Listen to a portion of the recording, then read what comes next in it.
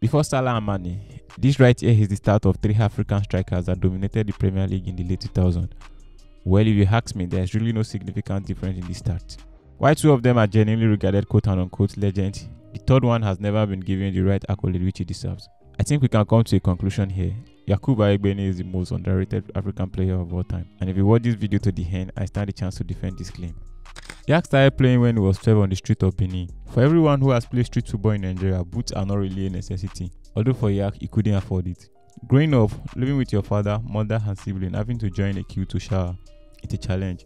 I took my challenge and said this is my dream to play football and at the end, it pays off. After a failed trial with the Nigerian club, Yak made the decision to join Okomo FC, a team playing in the Nigerian League 2.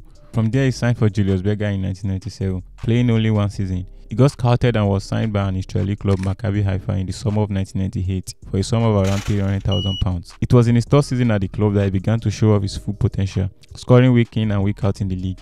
You can say it is Israel League. Surely there was no real competition. Well, you are wrong. He played 8 games in the Champions League that season, scoring 7, including an hat-trick against Olympiacos and a 3-0 win against Manchester United. He was called up to represent Nigeria in the 2000 Sydney Olympic. He scored Nigeria's first goal of the tournament and was featured in the win against host nation Australia before Nigeria were knocked out of the competition in the quarterfinals. With the Super Eagles filled with a lot of big names and superstars who are in their prime, you really need something special to get in that team. Well, Yak is special. At age 17, he made his international debut. At 18, he scored his first goal for the Super Eagles, followed with a brace in Nigeria World Cup qualification. Just 19, he was already playing with the people he watched on TV, playing with the likes of Okocha, Sunday Oliseh, and Kanu. The Super Eagles manager was quick to praise him, saying he might be the youngest in the team, but no one trained harder than him. By 19, Yak participated in the African Cup of Nations, scoring the only goal in Nigeria's third place win against Mali in February 2002. After a failed move to Derby County in the summer of 2002, Yak was loaned to Portsmouth in the winter of 2003. He scored 38 goals in 49 appearances for Maccabi Haifa.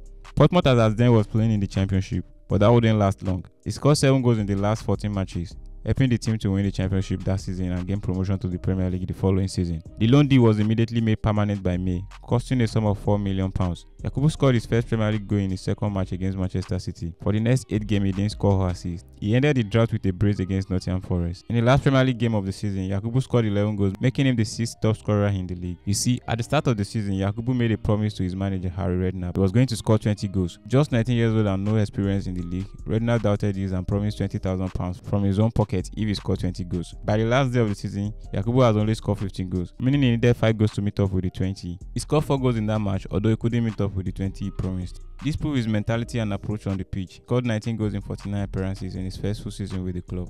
He appeared less the following season as he struggled to keep up with a nail injury. After 92 appearances and 42 goals for Portsmouth, he signed for Middlesbrough in the summer of 2005 for a fee of 7.5 million pounds, making him the most expensive Nigeria player. He played all 14 matches as Middlesbrough reached the final of the UEFA Europa League, but lost to Sevilla. That season he scored 19 goals in all competition and by now has proven what a goal machine he is. What followed is another 16 goal in the next season. He signed for Everton in August 2007 taking the number 22, which was his goal scoring target for the season. Uniting with his international teammates Joseph Yobo and a host of stars like Steven Pienaar, Tim Cahill, and Mikel Arteta. the team was coached by David Moyes. Just 11 minutes into his debut, he scored against teams. He wasted no time to establish himself as the number one shot striker. By December, he scored his first hat-trick for Everton, and by the end of the campaign, he scored 21 goals in all competition. By the next season, injury began to set in. As he struggled to keep up with fitness, he scored just 11 goals in about 60 games over the next two seasons. Yak represented Nigeria in four African Cup of Nations, winning third place in 2002, 2004, and 2010. He played an important role in Nigeria's qualification to the World Cup in South Africa. The 2010 World Cup is probably the most scary for football fan in Africa. Personally, for me, it was the first time I was watching the World Cup, at least in full memory. There were a lot of expectation and doubt as it was the first time an African country would be hosting the biggest event in football. From the iconic dance celebration of the first goal to the wide jubilation of the Spanish team, Luis Suarez madness that cost African their first participation in the semi-final. Not to forget the Jabulani ball. You get the gist. Everything was scary, but none come close to this. It's the miss of the tournament. Seriously, we have seen worse means than this by great players and in big games. Why is this a big deal for Nigerians? Well, to gain a perspective, we have to dive into Nigeria's journey in that World Cup. Nigeria was drawn into Group B with Argentina, Greece, and South Korea. Given the credibility and depth of the team, there were a lot of expectation and pressure from the fan. And let's face the fact, you probably can't get an easier group than this in the World Cup. As much as Argentina is guaranteed to top this group, the least the Super Eagles can do is to finish second. After a 1 0 loss to Argentina in the first match, which probably should have been a lot more than that except for the brilliance of Vincent Enyeama, Nigeria took a high flight into the second game, scoring in the 16 minutes and were dominating the game. If you ask me, Greece were only chasing shadow in that game, but there came the first madness. Uh, we we don't do that here. After the red card, Nigeria lost by two goals to one. For the last game against South Korea, a win would have definitely qualified the Super Eagles to the next stage. Nigeria again scored first before conceding two goals, and then this. Arguably the greatest miss I've ever seen in the World Cup. Just six minutes later, Yak won a penalty and converted it to put the score on the level term. According to him, I grew into the game and I was certain I was going to get another goal in that match, but I was substituted a few minutes later after scoring the penalty.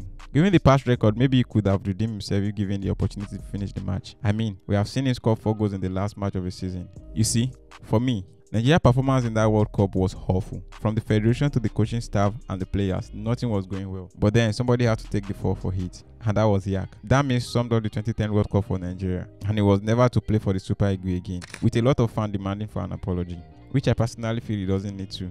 This is football. Me shouldn't cancel his previous performance for the country, and I think Yak is one of the most passionate players to ever play for the Super Eagles. He scored 21 goals in 58 appearances, making him the third highest scorer for Nigeria. In the following season, he was injured for over a year, ending his days at Everton. After a loan spell with the Championship side Leicester City, Yak made a comeback in the Premier League, which was his last season and surprisingly his best season in the league, scoring 17 league goals for Blackburn and was third top scorer in the 2011-2012 Premier League season.